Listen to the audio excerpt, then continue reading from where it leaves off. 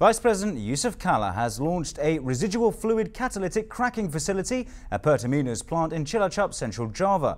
RFCC is a refining process that breaks down crude oil into more valuable derivatives, and it's projected this facility will help cut Indonesia's import bill by 5 to 6 percent.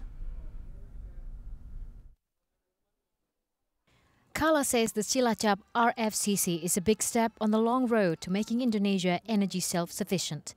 Increased fuel production by state oil and gas firm Pertamina is crucial if it hopes to meet continuously increasing domestic demand.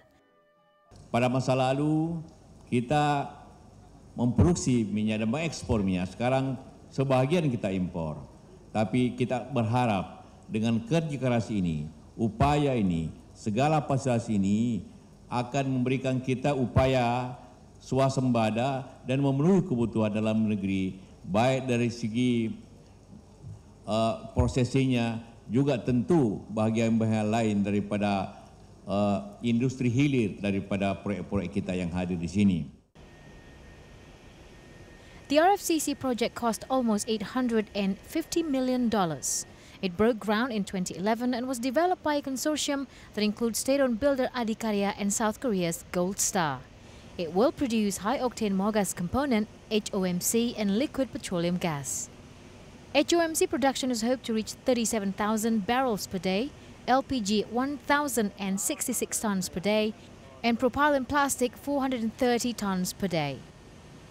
The capacity is expected to save Indonesia 5 to 6% on its import bill every year. In a separate project, Pertamina and Saudi Arabia's Aramco, which works on the Cilacap plant, have signed a heads of agreement, a non-binding document to increase capacity there. It's a part of a master plan for developing Indonesia's refining capacity, and it's allotted $5.5 billion in investment. Produk tambahan yang dihasilkan dari kerjasama ini meliputi pertama Kron 92 sebesar 42 barel per hari atau 1,2 juta barel per bulan. Aftur sebesar 40 ribu barel per hari atau 1,2 juta barel per bulan. Solar sebesar 60 ribu barel per hari atau 1,8 juta barel per bulan. Produk aromatik sebesar 752 ton per hari atau 22.560 ton per bulan polipropilin sebanyak 472 ton per hari atau 14.166 ton per bulan. Dengan tenaga kerja yang akan diserap pada saat proyek sebanyak sekitar 20 ribu dan operasional sekitar 750 orang. Devisa yang dihemat dengan proyek RDMP ini Bapak Wapres kami laporkan sekitar 10 setengah juta US dollar per hari. That project is set to go operational in 2021.